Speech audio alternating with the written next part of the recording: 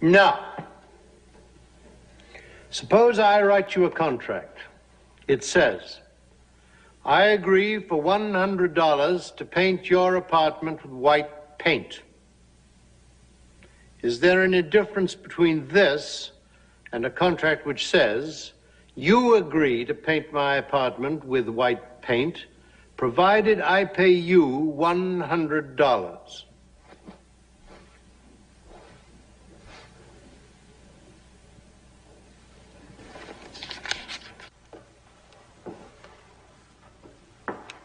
Mr. Brooks.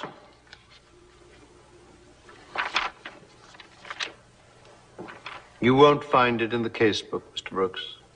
This is just a hypothetical.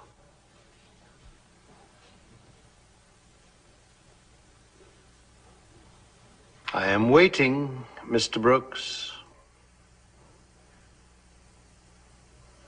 I'm not sure that I understood it all. Uh, could you tell me it again?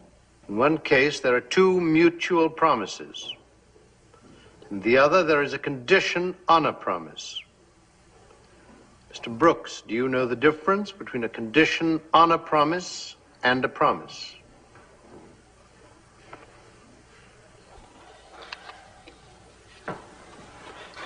Mr. Brooks, did you read this material? Yes, I did read the material. I memorized the facts. I have a photographic memory. A what? Photographic memory. Do you repeat that? A photographic memory. A photographic memory is of absolutely no use to you, Mr. Brooks, without the ability to analyze that vast mass of facts between your ears. Did you hear me, Brooks? Yes, sir. Could you give me the hypothetical again? I didn't understand it.